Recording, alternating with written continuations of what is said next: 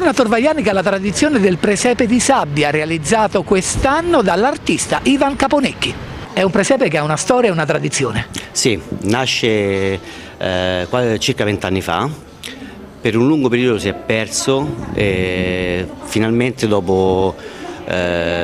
dieci anni sono rientrato dalla Germania e come dicevo anche le altre volte ho, a grande richiesta anche da parte dei cittadini di Torvaiani ho deciso di impegnarmi da solo insieme alla ST,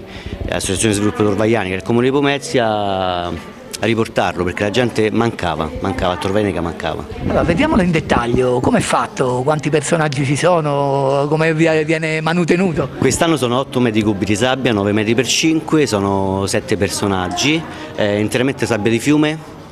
acqua, tanta pazienza, tanto lavoro, in circa 22 giorni di lavoro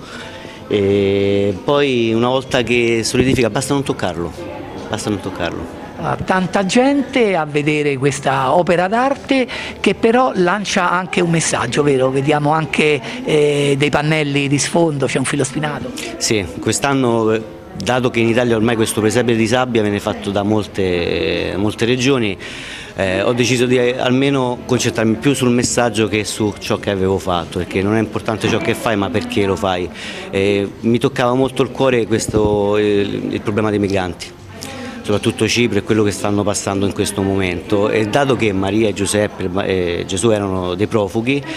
ho deciso di omaggiare loro, quindi si intitola Speranza, con la speranza che questo non succeda mai più e si può vedere anche nel particolare dell'angelo che è un piccolo bambino profugo con una, una barchetta di carta in mano proprio come simbolo di speranza e, e speriamo che il messaggio arrivi quest'anno. E il presepe rimarrà in esposizione fino al prossimo 9 gennaio da Torvaglianica per Canale 10, Alberto Dabì.